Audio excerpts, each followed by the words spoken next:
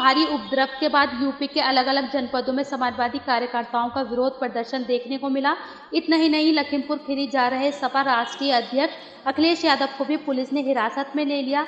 संभल में भी सपा नेताओं ने लखीमपुर मामले में निंदा जताते हुए भेजोई कलेक्ट्रेट परिसर के सामने बैठकर विरोध प्रदर्शन किया। सपा नेताओं ने सरकार पर निशाना साधते हुए किसानों के समर्थन में धरना दिया और सरकार के खिलाफ जमकर नारेबाजी की।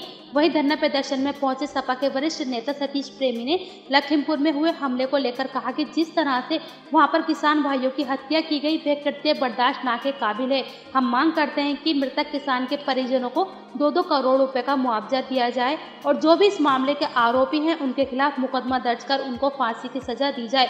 इतना ही नहीं, सतीश प्रेमी ने तीन कृषि कानूनों को भी वापस लेने की बात कही और कहा कि समाजवादी पार्टी हमेशा से किसानों के साथ रही है और आगे भी किसानों के साथ रहेगी। उधर समाजवादी नेताओं के धरने प्रदर्शन को देखकर पुलिस प्रशासन ने सुरक्षा की दृष्टि से सभी समाजवादी नेताओं को पुलिस लाइन में ले जाकर नजरबंद कर दिया। समाजवादी नेताओं में गुल्लू यादव, पूर्व मंत्री विजेंद्र पाल सिंह यादव, जिला अध्यक्ष असगर अली अंसारी जिला महासचिव किशन मुरारी शंखधार प्रमोद यादव विमलेश कुमारी मोनी कुमारी सतीश चंद्र पूर्व महासचिव हरवीर यादव आदि मौजूद रहे।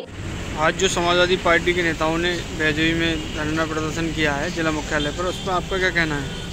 आज समाजवादी पार्टी के राष्ट्रीय अध्यक्ष जी लखीमपुर खीरी जो किसानों को गाड़ी से कुचल कर मार दिया गया उस उनके परिवारजनों से मिलने जा रहे थे।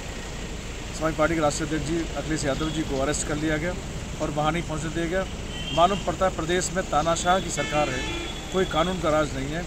इसलिए समाज पार्टी के लोगों ने लखीमपुर खीरी जो किसानों की हत्या हुई हैं, उनके विरुद्ध ये मांग करते हुए कि उनके परिवारजनों को एक एक करोड़ रुपए की दो दो करोड़ की आर्थिक अनुदान दिया जाना चाहिए, सहायता दी जानी चाहिए, परिवार के लोगों को नौकरी देना चाहिए।